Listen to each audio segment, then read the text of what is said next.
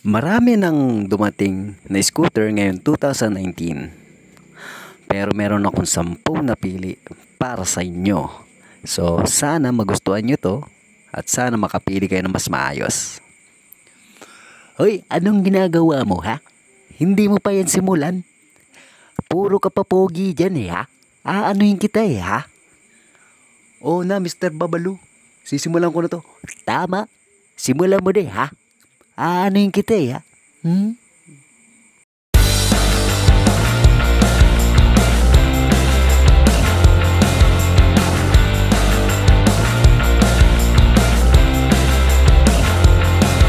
What's up guys? Welcome to my YouTube channel again and you're watching Haji Moto Vlogs. So this time pag-usapan natin ngayon yung top 10 pick ko ng scooter. So ito ang tingin ko na the best para sa akin, sa opinion ko.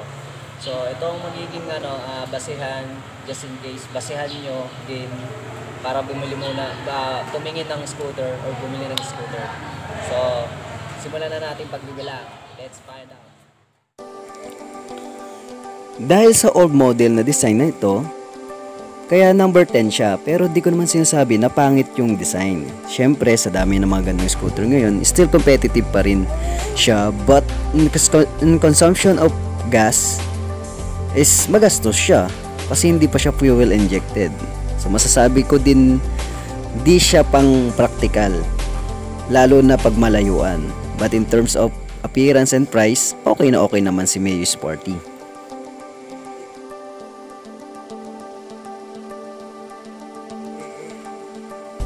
So actually, hindi ko pa siya nako-cover. But in a, my review in via YouTube, okay naman siya. Ang ayoko lang yung design niya na napakasimple but still is good. Ah, kung sa patipiran ng gas, alam ko number 4 siya as far as I know. Pwede talaga siya pambiyahe at pang araw-araw dahil subok na na matipid siya.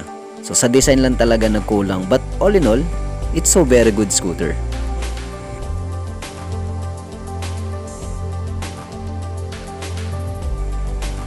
So bakit nasa number 8 si Aerox? Sobrang ganda naman ng specs at features niya. And the same, well good naman but in sense of practicality, hindi siya swak sa budget na pangmasa. Siyempre high features, high value. Kasi nasa 100k na yung presyo niya at mangilang-ilan lang din yung nakakabili.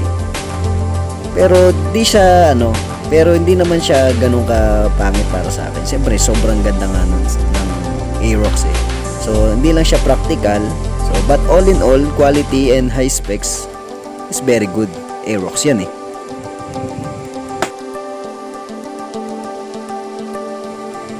Suzuki Address, when it comes to practicality, this is the best scooter in, the, in terms of price. Pero sa design, medyo nagkulang.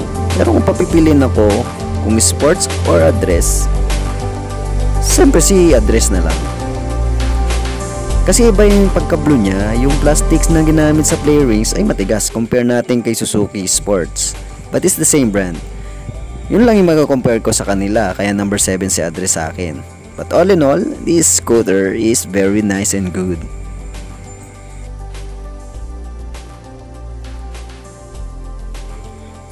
MIUI 125i This scooter makes me crazy when I got to ride it. Kasi ibang hatak at yung alog niya, hindi mo ramdam eh. Then sa tunog ng makina, it's okay sa alright. Tahimik lang siya at syempre fuel injected na. Then isa pa yung presyo niya para sa brand na Yamaha. Hmm, ito yung pambato nila when it comes to price issue. Kasi nasa 60 to 70k lang ito eh. Kaya sulit na sulit na sulit ka na dito, di ba?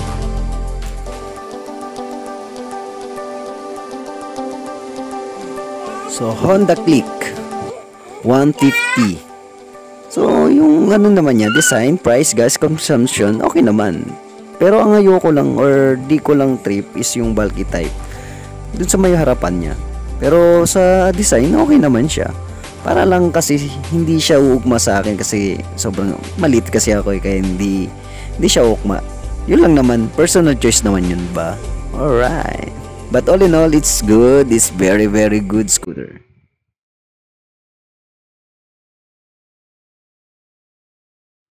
To si Mio I Soul 125. Sa scooter naman, sobrang unique ng design niya. Ang nagustuhan ko pa sa kanya yung sa may harapan napaka-sporty and gwapo talaga tignan kahit di kakgopuhan. But in terms of specs, very good quality and speed niya so smooth. Pagdating naman sa kalsada, well, syempre, di rin pahuli. Syempre, mas mabilis to. Then yung sa price naman niya, very affordable naman. Yakang-yaka naman ng masa. Kaya si Yamaha pa, di ba?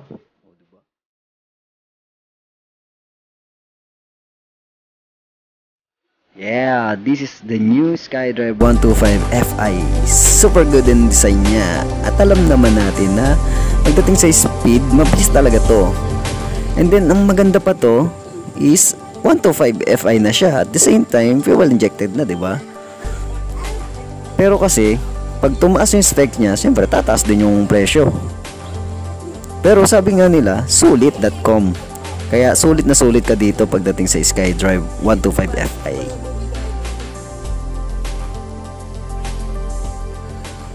Woohoo! This is the Yamaha NMAX 2019. Siyempre, titignan natin yung itsura. Napaka-design is so good. Para kang ano, transformer nga yung datingan nito. Pero in terms of ano, specs and price, so good pa rin. Nga lang, siyempre, sa price nga pala. Mataas, siyempre. High quality. High value pa. So, Yamaha yan eh. NMAX yan eh. So, ang nagustuhan ko talaga dito yung design talaga niya. So, very ano na siya. Very futuristic na siya. At ang nagwagip sa 2019 top pick top 10 is Honda Beat. Siyempre, ito yung pinaka matipid sa sampung nabanggit ko. So, as far as I know, ito yun yung nag-number one sa patipiran sa gas. So, in terms of design, sobrang ganda naman ng design niya. Bagay na bagay sa mga malilit na tao tulad ko. Ha. Siyempre, mas maganda. Mas matipid. Siya ang Honda Beat. Mas matipid, Honda Beat. Oh, ha? Saka sa presyo, swak na swak. So, there you have it guys. Yun yung top 10 pick ko.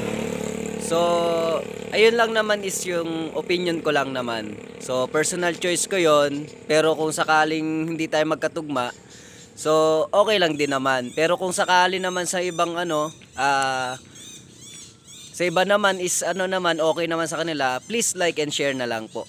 So, ah, sa ano na lang, sa next video na lang, till next video na lang ulit. So, maraming maraming salamat sa pag-view, sa pag-watch. So maraming maraming salamat na lang po. So please don't forget to subscribe my YouTube channel Haji Moto Vlogs. So thank you very much. This is Haji and you're watching Haji Moto Vlogs. God bless.